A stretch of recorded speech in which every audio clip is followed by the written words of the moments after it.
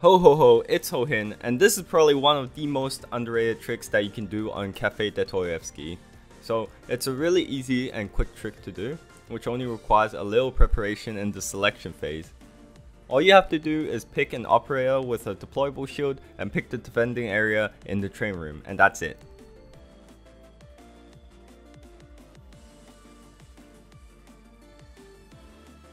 Now, you have to go in the space between the dining room and the train and place your deployable shield sideways.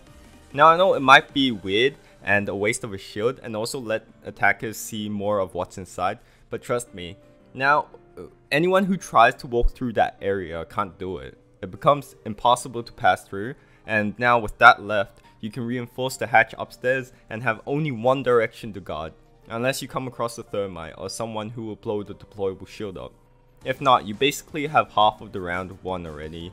So yeah, that's a cheesy little trick you can do and I hope this has helped you. If you liked it, please give it a thumbs up and I'll see you next time.